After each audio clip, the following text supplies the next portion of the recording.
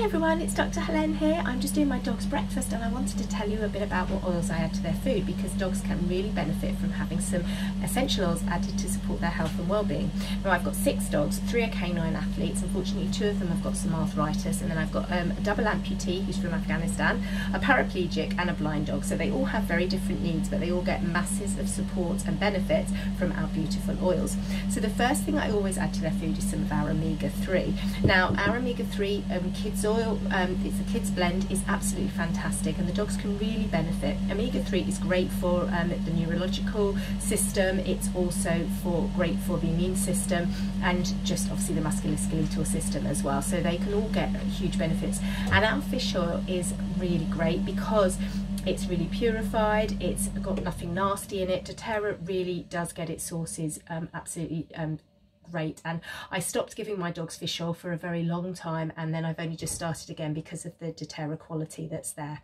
So one teaspoon of our oil has 1300 milligrams in it and that is suitable for a 12 kilogram dog. So you know, you just need to sort of up the dose or decrease the dose depending on um, the size of your individual dog and then add it to the food.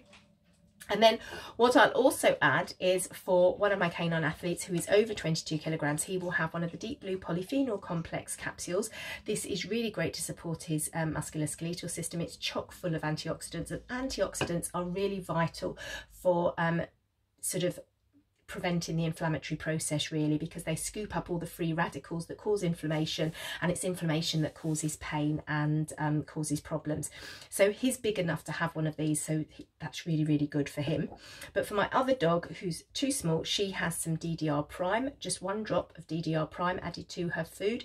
Um, that's this is an excellent um, oil to support the cellular health and it's just a wonderful blend of oils like frankincense to help sort of boost that cellular health. Another one that she'll have as well is a drop of turmeric oil because again we know turmeric is really good. Um, it's got this has got um, turmerones in it and it's really good for in, improving the bioavailability of the powder which has got curcumin in and both of them work really well together. My dogs don't like any of the powder so they just have the um, the turmeric oil but we know that's really good for the um, as an anti-inflammatory um, and it's got so many different benefits in so they have that. And then she'll also have a drop of frankincense in because it's really good to support the cellular health particularly for her heart.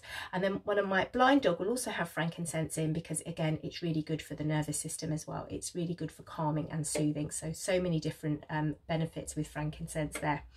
Now they will all have uh, copaiba in because this is an absolutely amazing oil there's really very little it can't do and it's brilliant to add to their food as a preventative. It's great for the musculoskeletal system, the digestive system, the urinary system, the nervous system. So you name it, it's absolutely fantastic. And so they all get benefit of this and they all really love it as well. And one of my dogs will just, if I, I usually just put a drop on my hand and she just licks it off there. So it's really great. So you can just add it in the food. I tend to add it to the top of the food.